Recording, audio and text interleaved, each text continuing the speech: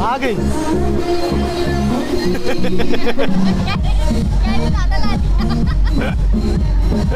अब देख पार्टी में आना शुरू कर दिया।